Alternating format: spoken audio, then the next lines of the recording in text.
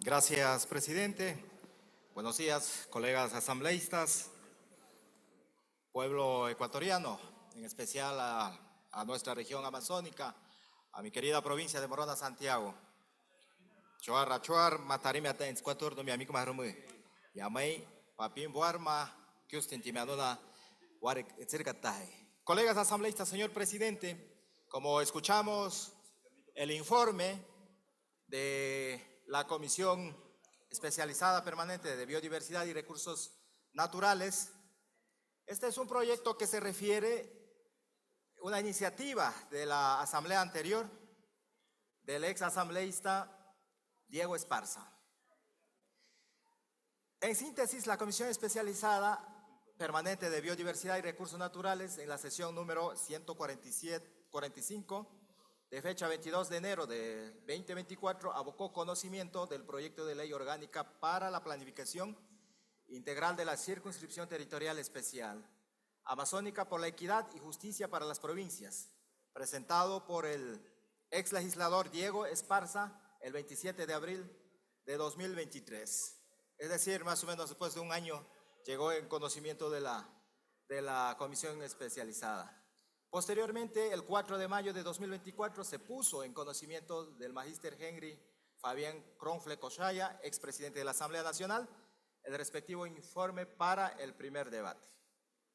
Durante la elaboración de este informe para primer debate del proyecto de ley se realizaron procesos de socialización y se solicitaron observaciones a diferentes entidades, como es el Consejo de Planificación y Desarrollo de CTA, Ministerio de Trabajo, Servicio de Rentas Internas, Ministerio de Economía y Finanzas, Secretaría Técnica de la Amazonía, sin obtener respuestas.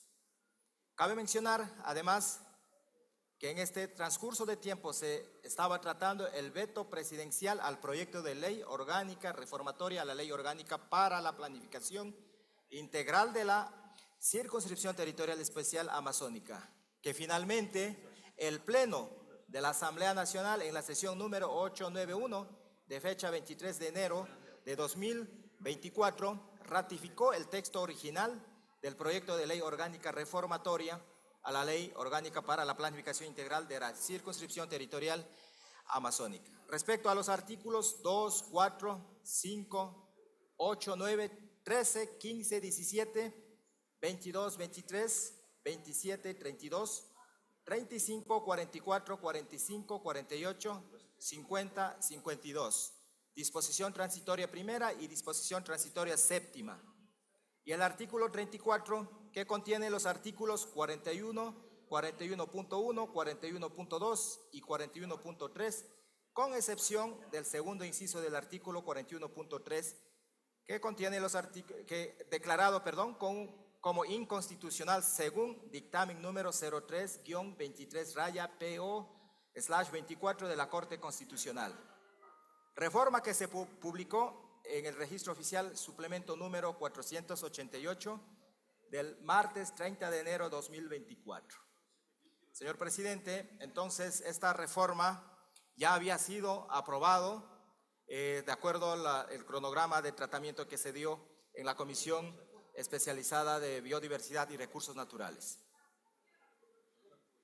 Eh, brevemente, el proyecto en referencia proponía reformas a cuatro artículos, además de incluir una disposición transitoria, una derogatoria, una final.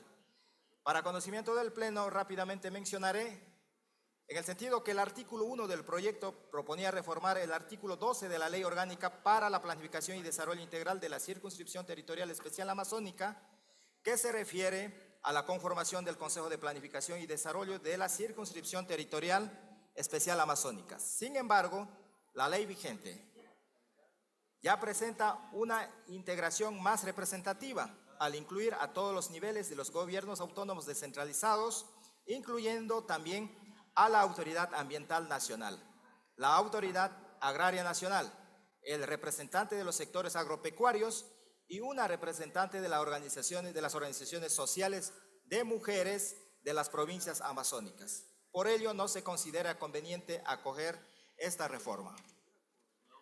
El artículo 2 del proyecto plantea la reforma al segundo acápite del artículo 60, actual artículo 59 de la actual ley orgánica de la circunscripción territorial amazónica, referente al financiamiento del Fondo para el Desarrollo Sostenible Amazónico, disponiendo que las empresas que realizan explotación petrolera en la Amazonía ecuatoriana deben depositar mensualmente los valores establecidos en una cuenta especial del Banco Central del Ecuador, denominada Fondo para el Desarrollo Sostenible Amazónico. Dado que el texto propuesto coincide con la normativa vigente, no se considera necesario modificarlo. Así es que eh, la Comisión de Biodiversidad aprobamos por unanimidad. El artículo 3 del proyecto plantea sustituir el artículo 61, actual artículo 60 de la Ley Orgánica para la Planificación y Desarrollo Integral de la Circunscripción Territorial Especial Amazónica, relacionado a la distribución del Fondo para el Desarrollo Sostenible Amazónico. La ley vigente asigna una mayor, un, mayor, perdón, un mayor porcentaje de ingresos a los gobiernos descentralizados provinciales y municipales en comparación a lo planteado en el proyecto de la reforma. Por ello, no se considera conveniente, y no, perdón, no se consideró conveniente acoger esta reforma. El artículo 4 del presente proyecto proponía reformar el primer inciso del artículo 66, actual artículo 65 de la Ley Orgánica para, el desarrollo, para la Planificación y Desarrollo Integral de la CTA, sobre la priorización del Fondo Común. El texto reformatorio menciona para las seis provincias en igual de condiciones, mientras que la ley vigente establece una distribución equitativa de los recursos en la circunscripción territorial especial amazónica. Dado que ambos textos, señor presidente, colegas asambleístas, tienen una intención similar, no se consideró un cambio sustancial y por tanto no se, considera, no se consideró conveniente acoger esta reforma. Colegas asambleístas, eh, señor presidente, pueblo de la Amazonía, para concluir, quiero dejar en claro eh, la, la conclusión de la comisión especializada de biodiversidad y recursos naturales sobre el, proyecto en referencia.